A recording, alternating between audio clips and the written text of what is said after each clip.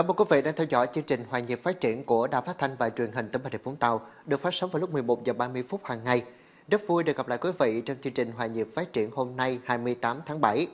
Trong chương trình, chúng tôi có những thông tin đáng chú ý sau. Các địa phương tổ chức nhiều hoạt động tri ân nhân ngày thương binh liệt sĩ.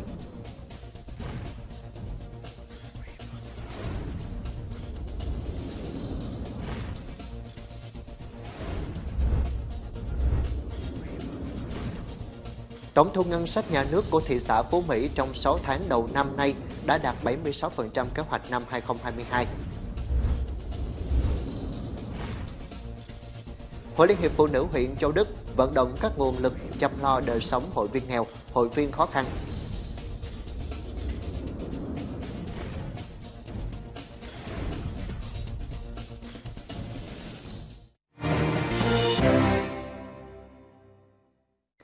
Những ghi nhận về các hoạt động kỷ niệm 75 năm Ngày Thương binh Liệt sĩ sẽ bắt đầu chương trình Hòa nhịp phát triển hôm nay.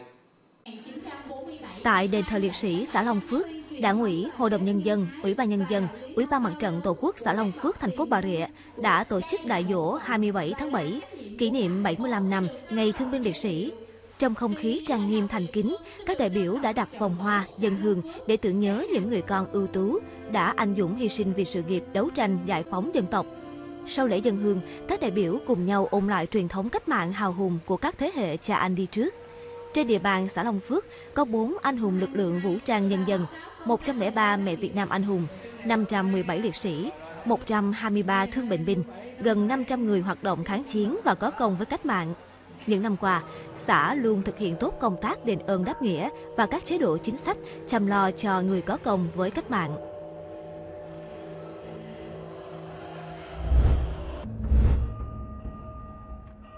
Đảng ủy, Hội đồng Nhân dân, Ủy ban Nhân dân, Ủy ban Mặt trận Tổ quốc Việt Nam xã Hòa Long, thành phố Bà Rịa cũng tổ chức lễ viếng và dân hương tại đền thờ liệt sĩ xã, nơi thờ phụng 523 anh hùng liệt sĩ. Trong không khí trang nghiêm, thành kính và biết ơn vô hạn, lãnh đạo, cán bộ, chiến sĩ và nhân dân xã Hòa Long dân hương tưởng nhớ công ơn các anh hùng liệt sĩ đã chiến đấu hy sinh vì sự nghiệp đấu tranh giải phóng dân tộc, thống nhất đất nước.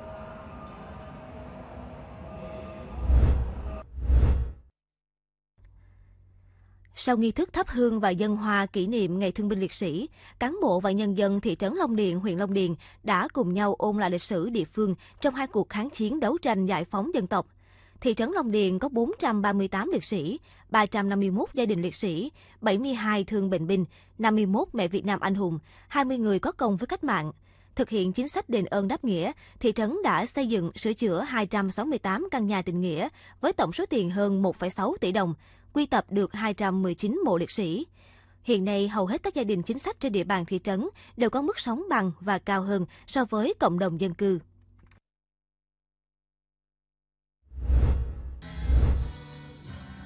Đảng ủy, Hội đồng Nhân dân, Ủy ban Nhân dân, Ủy ban Mặt trận Tổ quốc, các đơn vị lực lượng vũ trang và nhân dân trên địa bàn xã An Nhất, huyện Long Điền đã tổ chức lễ viếng dân hương tại đền thờ liệt sĩ xã. Trong giây phút trang nghiêm, các đại biểu đã dành một phút mặc niệm, thắp những nén hương thơm, bày tỏ lòng tri ân đối với những cống hiến hy sinh của thế hệ cha anh trong sự nghiệp giải phóng dân tộc, thống nhất đất nước.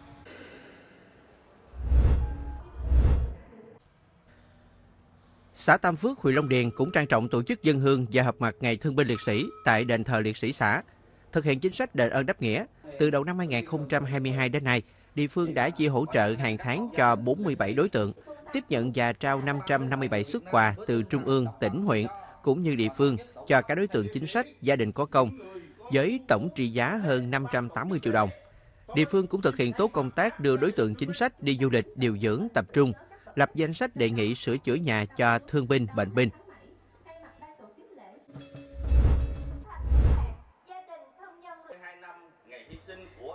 Cùng với các địa phương khác, thị trấn Đất Đỏ, huyện Đất Đỏ đã tổ chức họp mặt kỷ niệm Ngày Thương binh Liệt sĩ và kỷ niệm 52 năm ngày hy sinh của nữ anh hùng liệt sĩ Nguyễn Thị Đẹp. Đền ơn đáp nghĩa với những người có công với cách mạng. Thời gian qua, thị trấn Đất Đỏ luôn quan tâm chăm lo cho các đối tượng chính sách thông qua việc chi trả trợ cấp hàng tháng, thăm hỏi tặng quà nhân dịp lễ Tết. Riêng trong dịp lễ 27 tháng 7 năm nay, địa phương đã nhận và cấp tiền quà của tỉnh cho 750 đối tượng với số tiền 857 triệu đồng, trao quà của Chủ tịch nước cho 554 đối tượng với số tiền 167 triệu đồng, vận động các mạnh thường quân trao hàng trăm suất quà cho các đối tượng chính sách có hoàn cảnh khó khăn.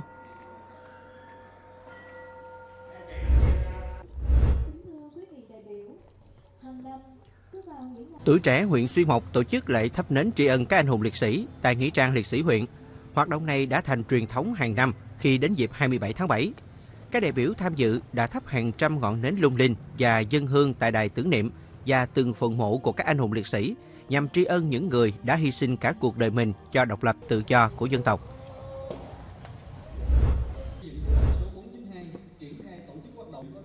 Hưởng ứng đợt thi đua cao điểm uống nước nhớ nguồn, tri ân người có công với cách mạng, kỷ niệm 75 năm Ngày Thương binh Liệt sĩ, Ban Chỉ huy quân sự huyện Xuyên Mộc đã trao tặng sổ tiết kiệm trị giá 5 triệu đồng cho ông Nguyễn Hồng Minh, ngụ ở ấp Thèo Nèo, xã Bình Châu, là người có công với cách mạng có hoàn cảnh khó khăn. Nguồn kinh phí do Ban Chỉ huy quân sự huyện đồng hành cùng Mạnh thường quân tài trợ. Dịp này, Ban Chỉ huy quân sự huyện Xuyên Mộc đã trao học bổng cho 10 học sinh trên địa bàn huyện trong chương trình Nâng bước em đến trường do Ban Chỉ huy quân sự huyện phát động, trị giá mỗi suất học bổng 1 triệu đồng.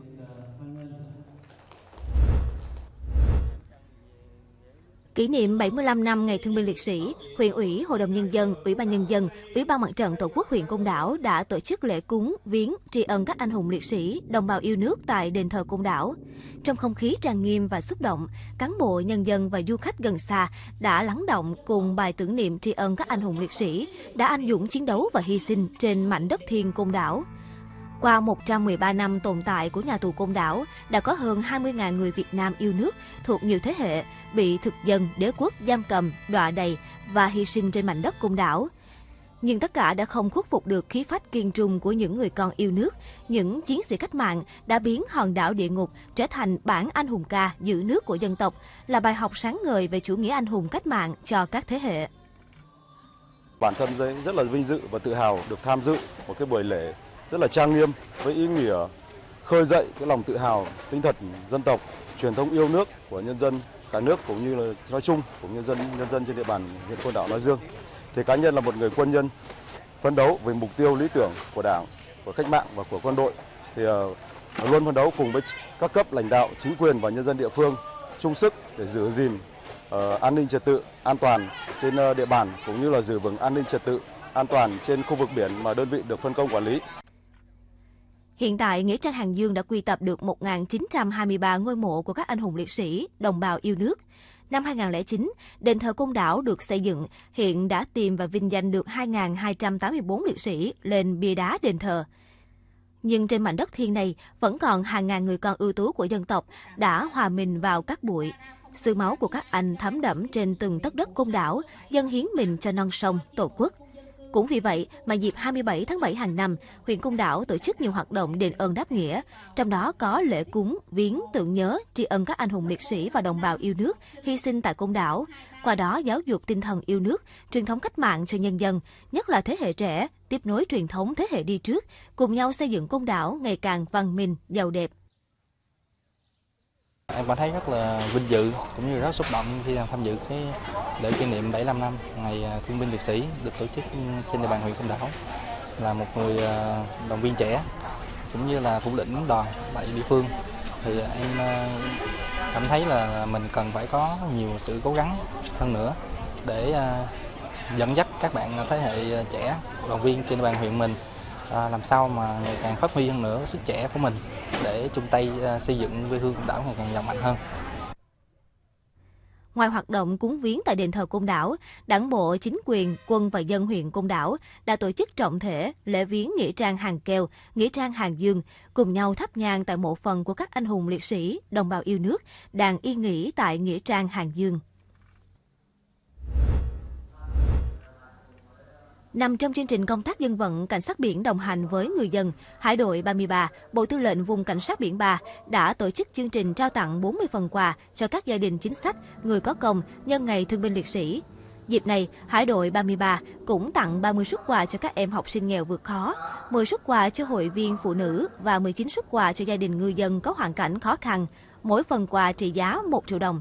Đây là những món quà có ý nghĩa của Hải đội 33, thể hiện sự chung tay, đồng hành của lực lượng cảnh sát biển đối với các hoạt động an sinh xã hội tại địa bàn nơi đóng quân, từ đó góp phần nâng cao đời sống của bà con nhân dân nơi hải đảo của Tổ quốc.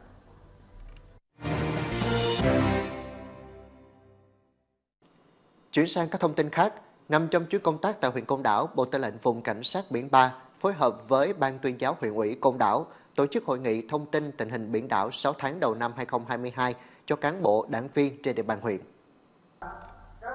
Cán bộ đảng viên huyện Côn Đảo đã nghe Bộ Tư lệnh Vùng Cảnh sát Biển 3 thông tin về tình hình Biển Đông, quan điểm của một số quốc gia về Biển Đông, quan điểm chủ trương của đảng trong việc giải quyết chủ quyền trên biển, chức năng nhiệm vụ, quyền hạn và một số kết quả thực hiện nhiệm vụ của lực lượng Cảnh sát biển Việt Nam. Hội nghị đã góp phần nâng cao nhận thức cho cán bộ đảng viên công đảo về tình hình biển đảo, qua đó góp phần xây dựng khối đại đoàn kết toàn dân tộc trong sự nghiệp xây dựng, quản lý và bảo vệ chủ quyền lãnh thổ và phát triển bền vững kinh tế trên các vùng biển đảo của Tổ quốc.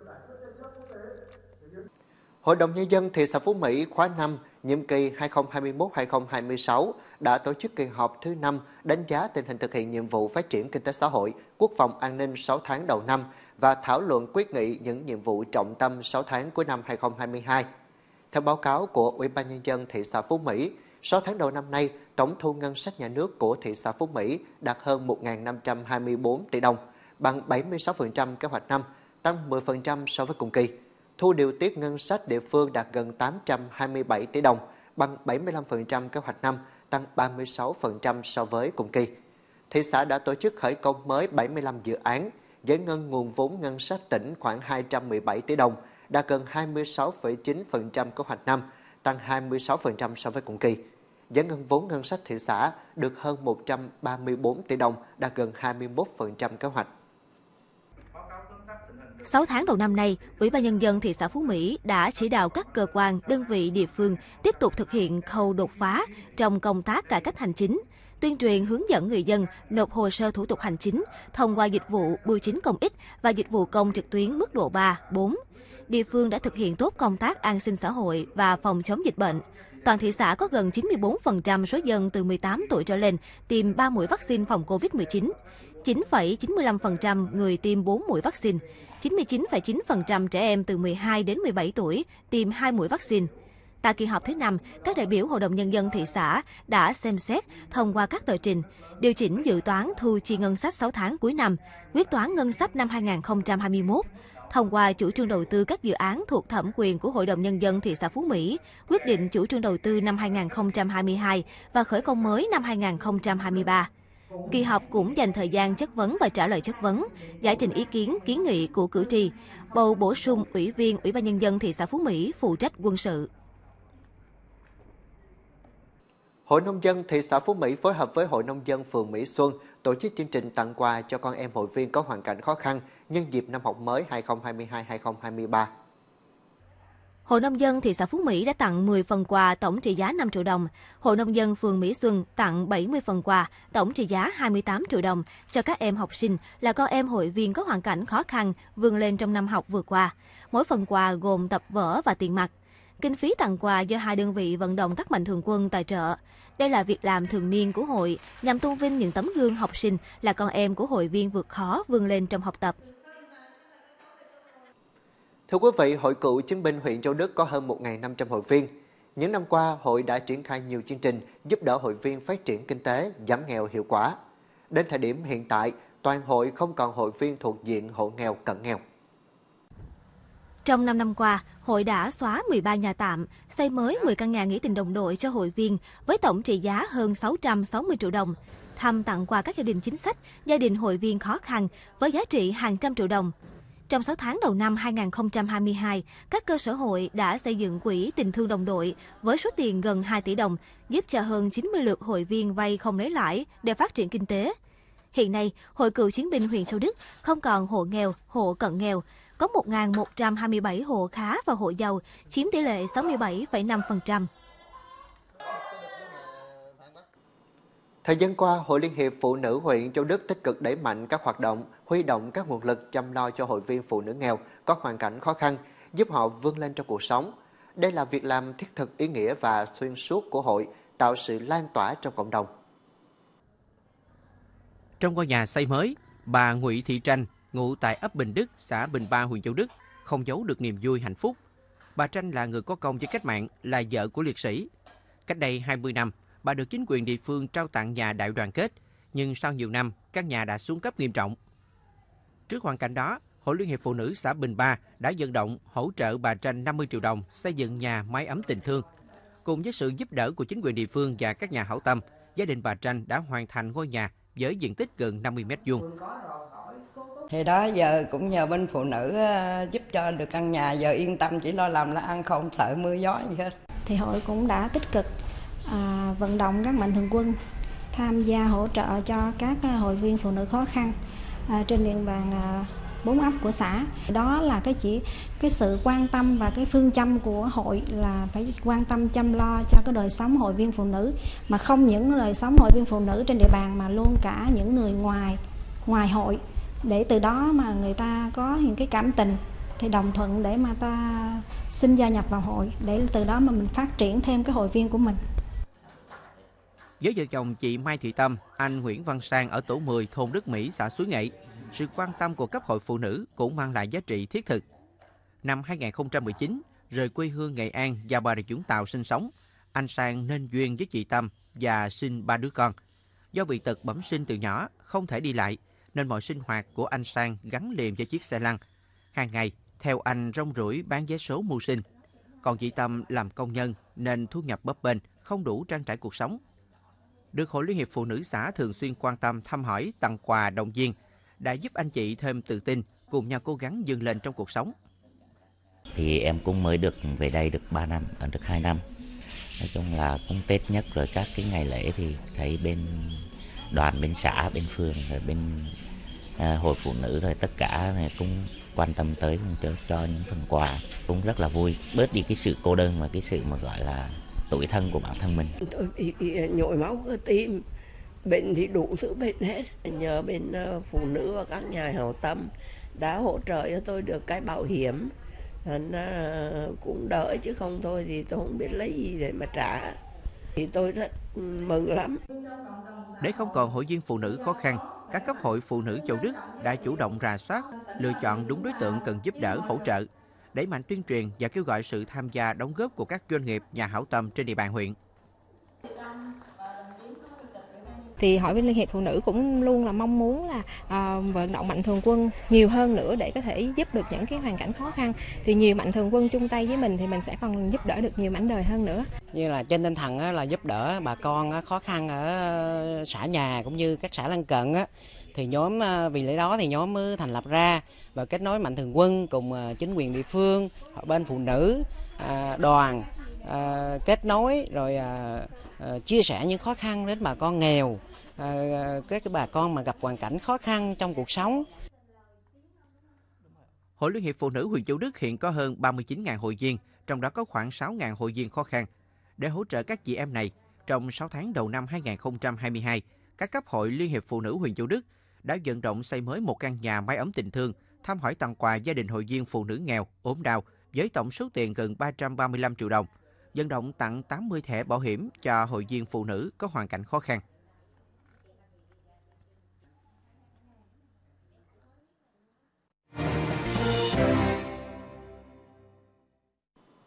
Hội Liên hiệp Phụ nữ phường Long Toàn, thành phố Bà Rịa vừa ra mắt mô hình nhóm cha mẹ có con từ 0 đến 16 tuổi và sinh hoạt câu lạc bộ phòng chống tệ nạn xã hội quý 3 năm 2022.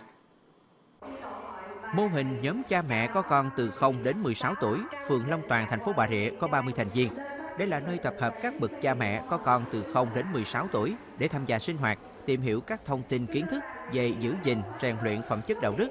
truyền thống gia đình, ý thức chấp hành pháp luật, nâng cao vai trò của cha mẹ đồng hành cùng con nuôi dạy trẻ thời hiện đại, phòng chống bạo lực trên cơ sở giới. Nhân dịp ra mắt mô hình này, Hội Liên hiệp Phụ nữ phường Long Toàn tổ chức sinh hoạt câu lạc bộ phòng chống tệ nạn xã hội quý 3 năm 2022 với các nội dung trọng tâm gồm cảnh báo phương thức, thủ đoạn các loại tội phạm mới, đặc biệt là tội phạm lừa đảo qua mạng, phòng chống bạo lực gia đình, xâm phạm trẻ em, hướng dẫn vận động các gia đình, hội viên phụ nữ chấp hành pháp luật bảo vệ trẻ em. Hội nghị Ban chấp hành Đảng bộ huyện Xuyên Mộc về việc lấy phiếu giới thiệu nhân sự để bổ sung Ủy ban Kiểm tra huyện ủy nhiệm kỳ 2020-2025 vừa diễn ra. Quy trình giới thiệu nhân sự bầu phó chủ nhiệm Ủy ban Kiểm tra huyện ủy nhiệm kỳ 2020-2025 được thực hiện theo đúng hướng dẫn gồm Hội nghị Ban Thường vụ lần 1, Hội nghị Ban chấp hành Đảng bộ huyện lần 1, Hội nghị Ban Thường vụ lần 2, Hội nghị cán bộ chủ chốt và Hội nghị Ban chấp hành Đảng bộ huyện lần 2. Hội nghị Ban chấp hành Đảng bộ huyện Suy Mộc đã thông qua tờ trình về cơ cấu, tiêu chuẩn, điều kiện quy trình của công tác nhân sự, bổ sung Ủy ban kiểm tra nhiệm kỳ 2020-2025, kiện toàn vị trí ủy viên Ủy ban kiểm tra huyện ủy để bầu giữ chức vụ Phó chủ nhiệm Ủy ban kiểm tra huyện ủy nhiệm kỳ 2020-2025 còn khuyết. Các đại biểu dự hội nghị đã thảo luận nhất trí bỏ phiếu tín nhiệm, giới thiệu nhân sự ứng cử bầu Phó chủ nhiệm Ủy ban kiểm tra huyện ủy đối với ông Hoàng Long Quân, huyện ủy viên, bí thư đảng ủy xã Bình Châu. Kết quả giới thiệu nhân sự đảm bảo tính dân chủ, tập trung và đạt số phiếu tín nhiệm cao. Tính đến thời điểm này, nguồn vốn Ngân hàng Chính sách Xã hội tỉnh ủy thác cho Hội Liên hiệp Phụ nữ huyện Xuyên Mộc là gần 213 tỷ đồng. Từ nguồn vốn này, toàn huyện Xuyên Mộc có hơn 7.100 hội viên phụ nữ được vay vốn phát triển kinh tế. Huyện Xuyên Mộc hiện có 96 tổ dây vốn do Hội Liên hiệp Phụ nữ các cấp quản lý. Thông qua các tổ quản lý này, hơn 7.100 hội viên phụ nữ đã được tiếp cận nguồn vốn vay ưu đãi của Ngân hàng Chính sách Xã hội tỉnh. Theo đánh giá của Hội Liên hiệp Phụ nữ huyện Xuyên Mộc, đa số các hộ dây vốn sử dụng vốn đúng mục đích, trả gốc lãi theo quy định. Nhờ đó, nhiều phụ nữ huyện Xuyên Mộc đã thoát nghèo và làm giàu bền vững. Trong giai đoạn 2016-2021, huyện có 1.531 hộ do phụ nữ làm chủ thoát nghèo. Chương trình Hòa Nhiệt phát triển trưa nay đến đây là khép lại. Cảm ơn sự quan tâm theo dõi của quý vị. Hẹn gặp lại quý vị trong những chương trình bản tin thời sự tiếp theo.